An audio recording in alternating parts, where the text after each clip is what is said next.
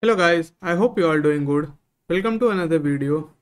Today we are going to solve another JavaScript problem that was asked in Uber's interview. As you can see on the screen, the problem statement read as we have to implement a throttler that executes an array of tasks. When the throttler is passed a number, only execute that number of tasks and pass the other task into the queue. So this problem is a variation of throttling function which I have already solved. You can watch the video to understand how throttling works. There are three different type of throttling functions that we, we can create and I have implemented all the three so I highly recommend watching that. Now after reading this problem statement you can see right there is a code structure given over here.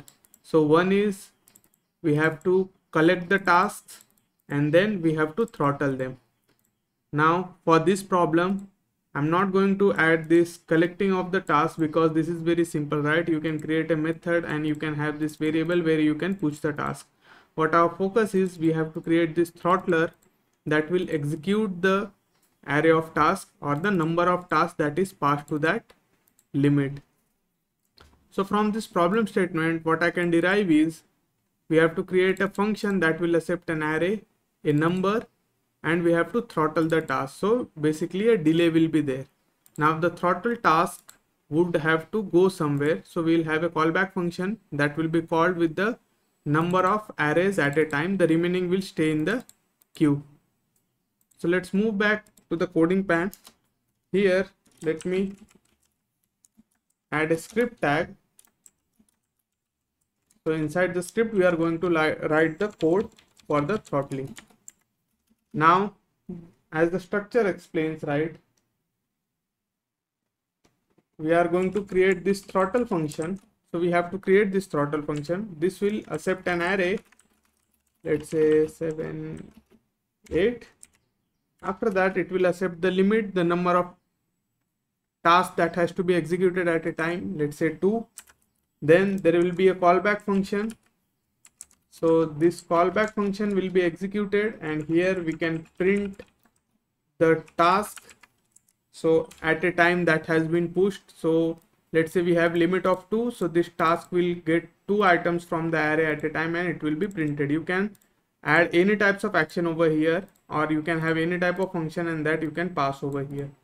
And after that we'll have delay. Let's say we have to execute the arrays after a delay of 2000 millisecond. So we are going to execute this throttle function on the click event. Let me add a button over here. The id button. And then here we'll say click me. And when we click this button we are going to execute this throttle function. So for that i have to assign a event listener. Let me do that. Const button equals to document dot get element by id button. And then we are going to add button dot add event. Listener. Click. And after that we have to execute the function. So basically we are going to execute this throttle function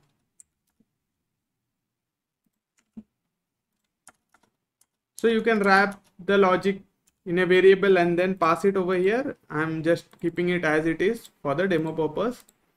Now this throttle function we have to implement it. So as you can see the click event listener right it accepts a function after the event name. So this throttle function will return another function that will be executed when the click event is fired. So let's start implementing the throttle. So const throttle and here we are going to have the array the limit the callback and the delay. So these are the four things that we are accepting in the throttle function. Now i'm going to create a closure. So return a function from this. Because we have to track the elements right? So at a time number of elements that are in the limit will be pushed to the callback. And that too at a delay. So we are going to make use of the classic throttle implementation that will be you know uh, invoked at the leading time as well which is on the initial click and after uh, the next consecutive calls will be on the delay. Uh, make sure that during the interviews you ask clarifying questions. So interviewer could ask you to implement the trailing as well as the leading like you can see in the video that i have shared. So uh, ask clarifying questions and after that only you start implementing the code. So let's have the same parameters. Last. The timer id to track the set timeout then this variable to track when was the last function run and then the queue so we are going to have a queue as well because the items at a time only uh, the items that are in limit will be pushed and remaining will stay in the queue that's why i've created this variable and i have spread the array and this will hold all the array elements in that.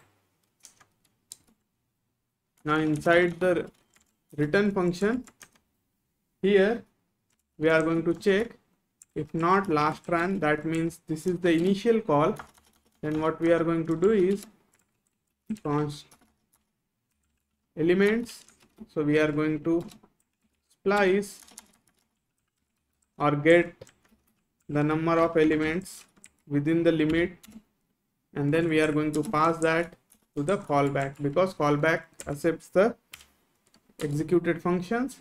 And after that we are going to update the variable with the current time so that we can determine when was the function executed last. After that in the else condition the first thing we are going to do is if the function is invoked before time we are going to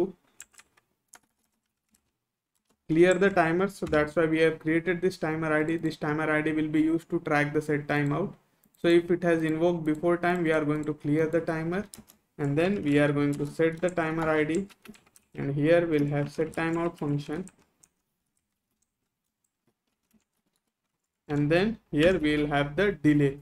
So now the delay it will be not the rand just the number. What we are going to do is we are going to calculate the exact time. So we want to make sure when the function was last run right? After that only if the number of delays has passed then execute this function so we are just going to calculate the time. And again here we are going to add an additional check. So if date dot now minus last run is greater than or equal to delay. So this is another check that we have just to make sure that we are executing the function only after the delay and then we'll copy whatever we have executed in the last run as it is. So that's it. That's how you'll implement the throttle function a simple implementation. Now let's run this. If i save you see the click me button is there. If i click over here you'll see that we should get 1 and 2 printed. So it's there. And if i'm clicking it the next elements come after the delay of 2 seconds and that too in a limit of 2 once we have reached the limit you see that we are getting the empty array that is being printed. So let me clear this let me reload and execute this again. See 1 and 2 3 and 4 5 and 6 and then 7 and no matter how many times I press the next function will be executed only after the delay of 2 seconds which is what we have passed over here. So if I change the delay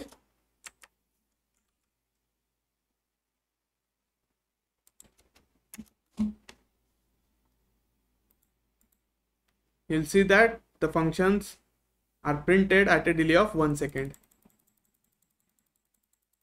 So it is getting printed very quick so this is how you can implement the throttle function it will execute the next function only after the given delay now once the function has been emptied you can wrap this logic inside a class or another function and there you can have the method push where you can push more elements into the array and then you can pass that further so that the next set of tasks can be picked for the throttling.